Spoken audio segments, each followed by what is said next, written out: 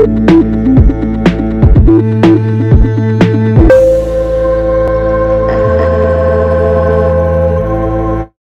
guys, how are things? I am teacher Balaram Oviedo from L de Español and we are here in our Spanish basic course, the basic level A1, taking our lesson number 12, speaking about possessives. In our uh, last lesson, we were studying about the demonstratives, okay? And here, our main objectives for today are to learn the use of the possessives before and after nouns and to express possession with de. Remember that we had a homework, you needed to write the correct demonstrative for close things or situations, so we are going to correct this. For example here, estas llaves son tuyas, ¿quiénes son estos chicos? Este teléfono no funciona. ¿Qué es esto que veo aquí? Esta vez voy a tomar té en lugar de café el 21 de este mes es mi cumpleaños. Estas camisas son un regalo para ti. Here you needed to write the correct demonstrative for far things or situations. Esa falda es muy bonita. Eso que dices es muy importante. Quiero probar esas galletas. ¿Te gustan esos pantalones? Esa mujer es mi esposa. Yo prefiero no hablar de esos temas. ¿Te molesta si como un poco de ese pastel? Ese es el trabajo de mis sueños, ¿ok? Now, we're going to speak about the possessives in Spanish. We can say that the possessives in Spanish can go before or after the noun in the phrase. For example, before the noun, este es mi lapicero after the noun. Este lapicero es mío. Okay, so the meaning of the sentence is the same, but it has the variation that me is before the noun, mío is after the noun, that in this case is eh, lapicero. Okay, ¿es este tu teléfono? ¿Es este teléfono tuyo? Mi casa es grande, la casa mía es grande. Nuestros hijos son adolescentes. Los hijos nuestros son adolescentes. Su trabajo es interesante. El trabajo suyo es interesante. Okay, so basically we can express possession in Spanish with these two forms. Possessives before the noun. We have them here. Okay, look at this. And the singular and the plural, right? Me, miss okay for you in english is the same but we have here to see if the things that we possess are uh, one just one thing singular or more than one thing plural okay possessives after the noun look at this. Mio mia. Before it was me but here is mio mia the plural mios mias tuyo, tuya, tuyos, tuyas, and so on with the rest of the table, right? This is really important for you to check.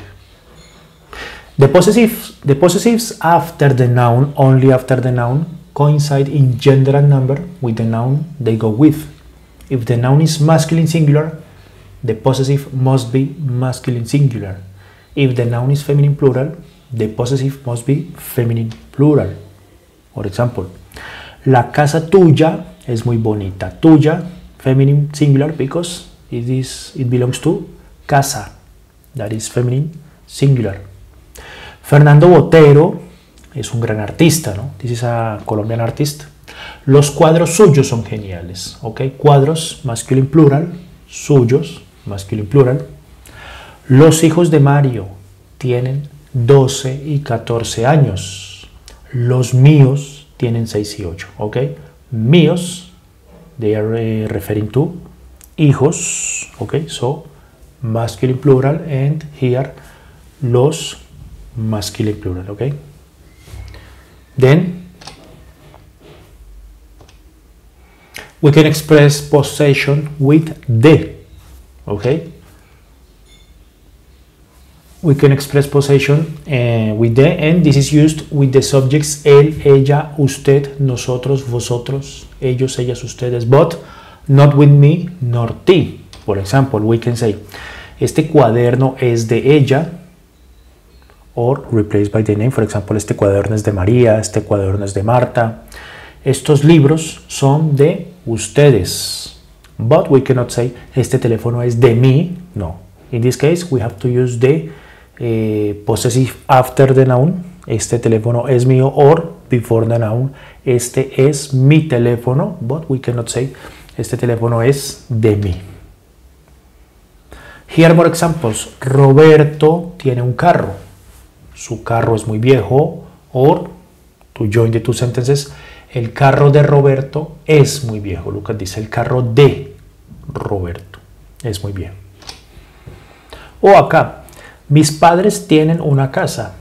Su casa es muy bonita. Or, in just one sentence, la casa de mis padres es muy bonita. La casa de mis padres es muy bonita. Okay?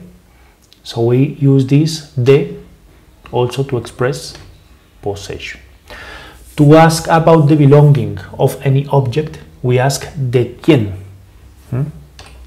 Por ejemplo, ¿de quién es este libro? es mío.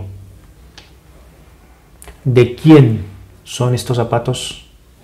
Son de María.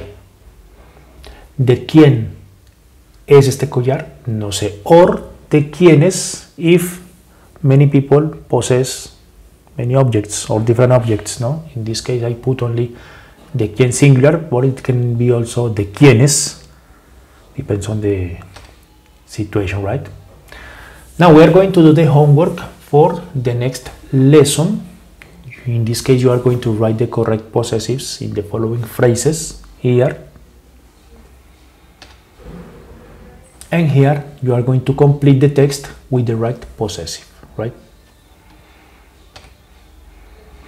Okay, that's good guys. Congratulations and thank you for watching the video. Remember that you can subscribe and give a like if you liked the video and we will see in our next lesson number 13 to speak about descriptions, descriptions of personality and descriptions of physical appearance, okay? So, thank you very much indeed. Muchas gracias por ver el video. Nos vemos en la próxima clase número 13 y que tengan un feliz día, una feliz tarde, una feliz noche. Saludos. Hasta luego. Chao, chao. Gracias.